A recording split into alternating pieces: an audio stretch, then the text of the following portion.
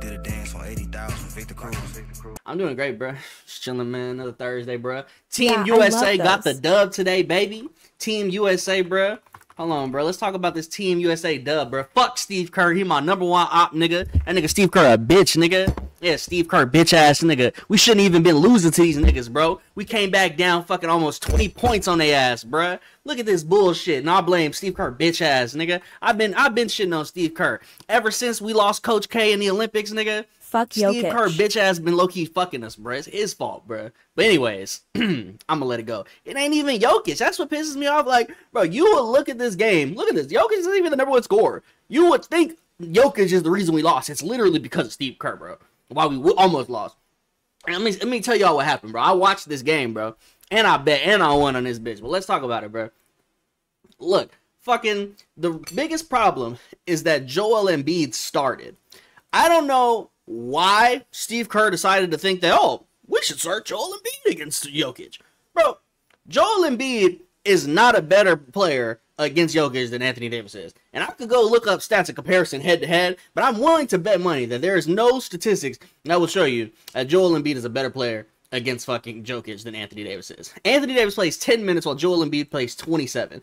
Dog, if we swap this shit, if we swap this shit, we don't go down. We don't get we don't lose by look at these niggas. 31 points in the first quarter.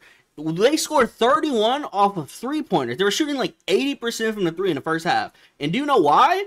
Oh, I know why. It's because Joel Embiid is an awful defender. That nega He Joel folds folds every against time Jokic. against Jokic, exactly. And not only can he not guard Jokic, guess what? When he gets switched on anyone who's a shooter, what does Joel Embiid do? Nothing, because he's not very fast on defense. Do you know how many times I've seen Anthony Davis block a three pointer shot? I've never seen Joel Embiid do that. And you go find me a clip of Joel Embiid doing that. He's never done that shit, bro. He's not fast enough. He doesn't have the lateral quickness. He can't quickly get up to that three point line. If we put fucking Anthony Davis in this in this game and start him, I don't think that we fucking lose the first quarter 31 to 23. I think we probably tie it 25 25 or something. Like Ad locks up he Jokic locks all him the up time. all the time, bro. So that's why I'm just saying, like, I don't understand how Steve Kerr logically said, hmm, let's start Joel Embiid. Like, that just doesn't make sense, bro. And it's funny because if you just look at box scores, he had a good game. He did shoot 8 for 11. He did play well. It took him the second half to get his shit going and to actually get his shit together, but he did play solid. He just didn't play any fucking defense. And every time there was a Especially switch, serious. yeah, and every time there was a switch gang, he didn't know what to do. And it was lighting these niggas up. Look at these niggas, bro. They ended up finishing 38% from the three, but they started shooting damn near fucking 60. They was killing us, bro. Bogey missed hella threes in the fourth quarter, but anyways, that's the problem. And that's why the game was so damn close. But we came through, we came back, we was down hella points, then like 15 at one point, made that shit work. Another thing Curry did I didn't like in the game was we had got hella momentum, finally cut the lead to six in the, the third quarter, and he rests all our starters except for KD. I'm like, bro, Curry we did his shit. yeah, Curry went crazy. But I'm like, bro, we just got our momentum, and you go sub out Curry, LeBron, fucking all these niggas. Like this doesn't make any sense. Like, we just got the momentum going. At least let us tie the game. Don't take them out when we're fucking up down six now. Like, come on, bro. Like that shit pissed me off, bro. But anyways, you know how Team USA hold it down, bro. We made it. We made up for that shit, bro. We bounced back, bro, like we always do, bro. And we still won that shit, even though Kerr wanted us to lose, bro. Kerr was playing. Kerr was playing for Serbia, bro. He was coaching for them, nigga. I don't know who the fuck he thought he was doing, cause he wasn't on our team, nigga. That nigga Kerr. That nigga was on the other team, bro. Just like when he didn't let Jayson Tatum get no burn that one game, that was stupid too. But that's my opinion. But either way, it was a good ass game. Great game to be midday like this. And I mean, it was just fantastic, bro. It was a fantastic game. It was so good, down to the wire. It was even like one or two point deficit in most of the fourth quarter. I saw a funny ass tweet. Somebody said the last 10 minutes of the fourth quarter of this game is going to go viral in 2030 when the young kids finally find out about it. Lakers funny. gone ball this year if we don't play the Nuggets and we play the Mavs or the Grizzlies. Yeah, facts.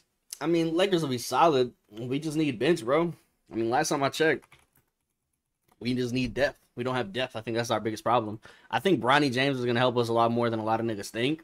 I think Bronny James is going to be the guy to come off of the bench in game 45 down the line when we really need help. and he's gonna surprise a lot of people because he's a lot better than I think that a lot of people think he is. But we don't have enough bench, bro. we do not have enough depth to really be like a good, solid team. Like it's crazy we even fucking finished third. Like realistically, we should have finished worse than that, but we have LeBron James, Anthony Davis, who fucking carries us. But no, realistically, dog, this nigga gotta go. Dalton is gone go crazy. Dalton is solid. He's a great shooter. This nigga gotta go. I want this nigga off my team. Find a trade. I don't care. Just somebody else. Get him off my team. This nigga gotta go. I actually like Cam Reddish, but they be hating on Cam Reddish. But I do like Cam Reddish. But the funny thing is, at a two million dollar salary, the fact that Dalton Knecht or whatever his name is might be better than him is gonna be interesting. Um, I really like Rui Hachimura. People be hating on this nigga. I love this nigga. He's one of my favorite players. I didn't know we got Harry Giles. We must have got him in the offseason. Jordan Poole better than that nigga probably.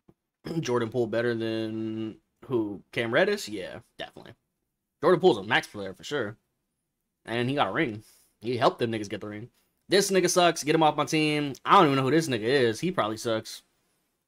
Who else on this team? Jaxson Hayes is good. I like Jaxson Hayes. He's what a good, Cam a Reddish though? Cam Reddish is cool, but I just think that he's like overrated. People be gassing him up to be raw, and he don't really be doing it. I watched him at Duke, and I used to like him, which is funny. But ever since he got into the league, I feel like he's just kind of mid. He sucks. Yeah, I don't really think he's really done shit. Anyways, Jarred Vanderbilt's pretty good. I fuck with Vanderbilt. He's one of our greatest defenders, and he really holds it down. Gabe Vincent ain't did shit last year, but I do like Gabe Vincent. It's crazy this nigga makes ten million dollars, but if we do want to talk about resume, he got that shit. And Christian Wood is that nigga. I fuck with Wood. So I mean, like, I think we have a solid team. We just need to make moves though. Like, if we don't make any moves by the trade deadline, I don't see us winning the title. I think that Rob Pelinka has to lock in and he has to move somebody around. And I don't know why Dalton. Oh, here he is. I was like, I didn't see him on the list. I don't know how I missed that. I was like, I didn't see him. But we have to move some of these people around. This guy's got to go. This guy's got to go. this guy's for surely got to go. Like, wait a minute. This is last year. Yeah, it doesn't. No, it, it's updated because it says Coach Redick, whatever. But anyways, yeah, we just gotta move these niggas around, bro. This is too many teams. I don't even think we can have this many players to start the season, anyways. I think you only have 15, right? Three, four, five. One, two, three, four, five. One, two, three, four, five. Yeah, that's 15.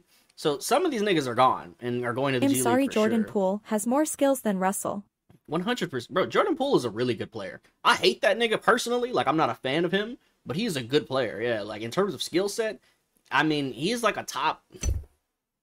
What I don't even want to say nothing crazy. What a top twenty guard right now? Like I mean that's pretty reasonable. Top twenty point guard, yeah. And he's pretty. He's pretty good, man. Like he gets max money for a reason. He's definitely. He's definitely a pretty good player.